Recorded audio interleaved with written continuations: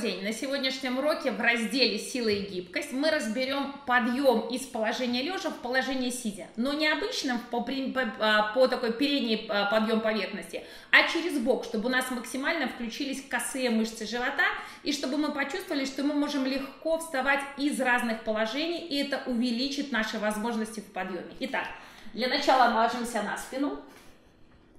С выдохом отпускаем напряжение, почувствовали свое тело. Сравнили свой 3D объем, поверхностное натяжение. И для начала движения сгибаем ноги в колени. Представьте, что вы подаете кому-то руки, и вам надо встать с опорой на одну лопатку, противоположное плечо идет вверх. Мы как бы оказываемся на одной половинке тела.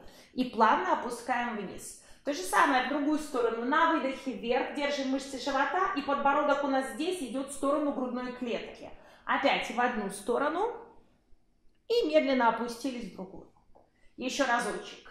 Вверх и опустились в другую. Теперь нам нужно из этого положения сесть. Мы будем использовать ноги как рычаг для того, чтобы было легче.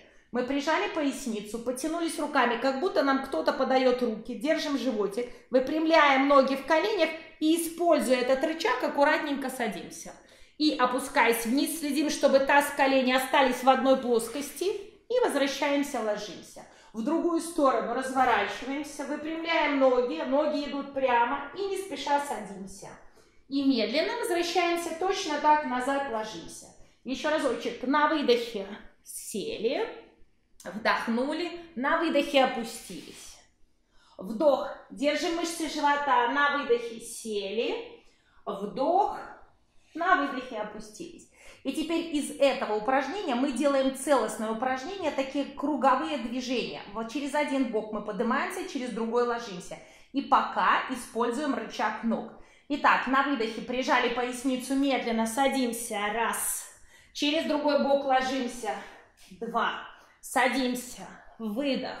Вдохнули, на выдохе, легли. Еще разочек, руки словно потянули, сели и на выдохе легли. Меняем направление, садимся через другой бок. На выдохе опускаемся вниз. Вдох. На выдохе садимся. Следим, чтобы ноги у нас не заваливались в стороны. Ложимся. И еще разочек.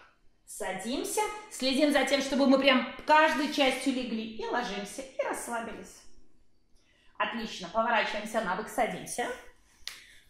Вот этот вариант подъема, он очень помогает потом сесть правильно вертикально. То есть он готовит к телу, что если вдруг вы куда-то уйдете в сторону, ваши мышцы способны вас поднять.